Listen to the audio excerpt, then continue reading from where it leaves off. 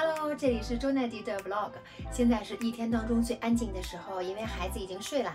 我给大家分享一下半年多来我使用洗碗机的感受，是纯个人经验，纯干货分享。我选的这款洗碗机的容量呢是十五套的。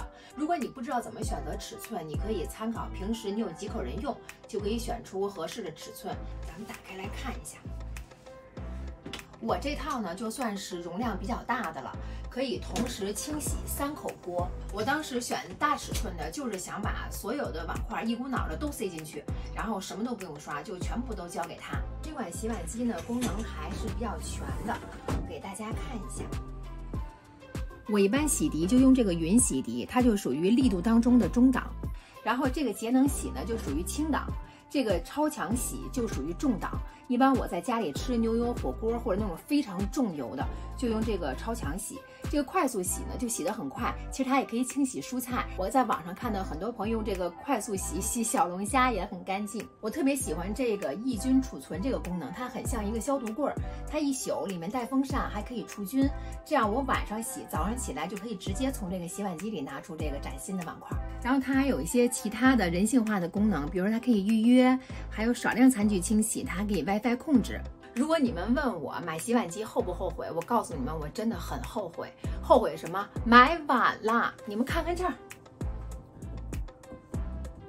在泰国的时候，可能因为天气很热，我们胃口都一般，饮食也偏清淡，在餐厅里也经常看到泰国人普遍都吃的特别少。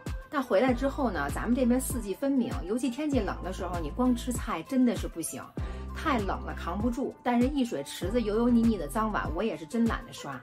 我妈跟我们生活在一起，就经常帮我们做家务。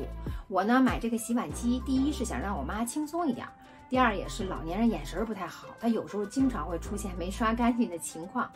而且现在又是疫情和螺旋幽门杆菌盛行，这个洗碗机呢它洗得干净，省事儿又能消毒，所以我就赶紧买了。都说这个码洗碗机啊是一个特别技术的活儿，今天也跟大家分享一下，碗一定要这样斜着放。它这样碗不会倒，水流还能从这里面滋进去，就完全可以洗干净。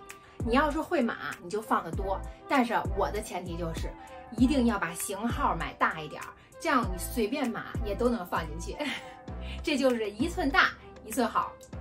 那现在我们就准备开始清洗啦。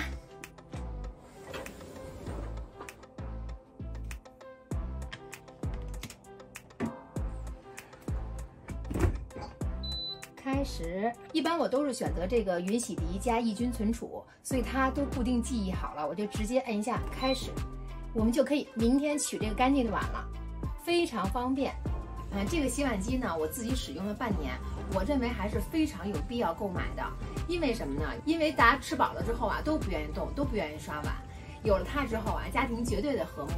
第二点呢，是它确实很傻瓜操作，又很省事儿，洗的又干净，那何乐而不为呢？第三点呢，就是现在疫情当道，而且我认为螺旋幽门杆菌它传播还是很盛行的，尤其我们家是老人孩子都生活在一起。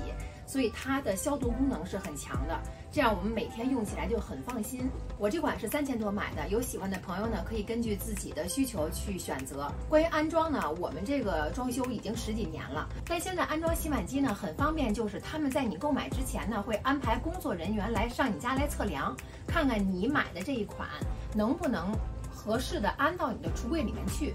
你们商量好了尺寸、大小，怎么安装之后，你再下单购买是非常方便的。你像我选的这款大的，我们就是拆掉了一组橱柜，然后我又利用了旁边的这个空间呢，做了一个置物的小车。我觉得虽然说没有整体橱柜那么美，但是对于方便省事儿来说，我还是妥协了。那好吧，今天呢就让它在这儿乖乖的洗，然后我呢就要去美美的做我喜欢的事情了。今天是我们隔离的第五天，我们明天见，拜拜。